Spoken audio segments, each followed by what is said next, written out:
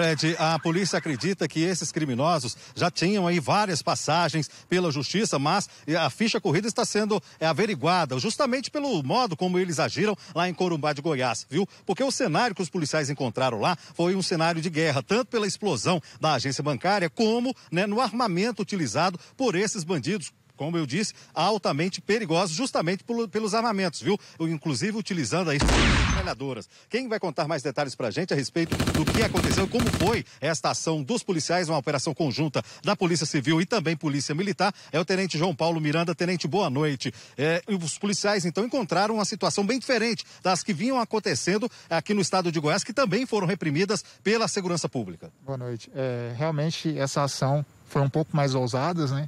É, era um quantitativo maior de criminosos e utilizando de armamentos bem mais pesados do que os últimos acontecimentos de roubo. Agora, como que eles escolheram o banco? É, vocês, inclusive, confrontaram com eles justamente no momento em que eles deixavam a cidade. Exatamente. É, como eles escolheram o banco, nós não, não temos essa informação. Porém, através de compartilhamento de informações entre a Polícia Militar, Serviço de Inteligência, Batalhão de Rotan e o Grupo de Repressão a Roubos a Bancos, é, foi possível é, delimitar uma área onde que essa ação poderia acontecer. Após a explosão, as equipes tomaram conhecimento que o roubo estava, sendo, estava acontecendo na cidade de Corumbá de Goiás e na saída da cidade conseguiu deparar com o veículo que, que estavam os autores do, do roubo. Teve uma tentativa de abordagem, porém os indivíduos fortemente armados não obedeceram e, e, resolveram enfrentar as forças de segurança do Estado. Agora são altamente perigosos, justamente pelo modo como agiram, né? A ficha corrida deles está sendo puxada, né? Exatamente. É, a, o grupo de rouba bancos está fazendo a investigação para saber maiores detalhes da ficha desses criminosos.